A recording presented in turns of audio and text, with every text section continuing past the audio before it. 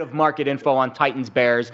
Um, Chicago hosting this game. We opened Chicago four and a half in May. We haven't seen a ton of movement all summer. Again, you can still bet the Bears laying four. Titans saw about a half point move off of that. Maybe it's starting to drift a little bit further towards Tennessee, but it still kind of looks like we're, we're painted four across the board.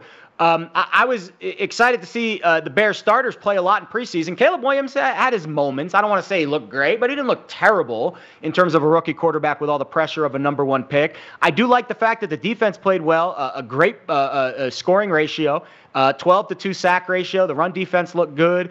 And then you get the revenge element here, right? You get the Bears safety Kevin Byard, who was a stud on the Titans team last year. Cris, uh, do any of those factors play in when handicapping this game at all?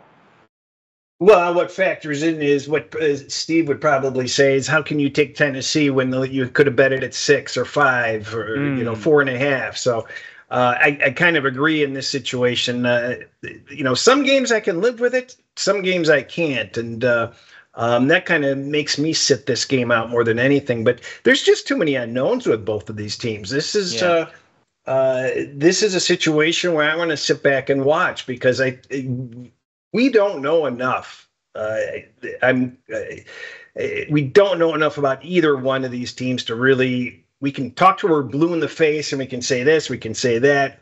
There's just too much change, and uh, to really predict. Let's see what happens on the field here. Let's use that information in future weeks. Yep. You know the when a point spread is around four, Jared, I don't get very excited about betting a team, either team, and here's why. It's not going to get down to three. So four is a dead number, five is a dead number. So I'm not going to steal wins by getting the extra half points. I know plus four and a half is attractive, but teams games really don't land for much anymore. And because of that, um, I pay a whole lot more attention to games lined right around three and right around seven. And I have a lot more wagers on games like that. So I'm going through, I got all my tickets from the summer in front of me and what I played and I don't have one bet on this game. So I, wow. I, completely blank uncertainty about how good Caleb Williams is also. Yeah, I agree.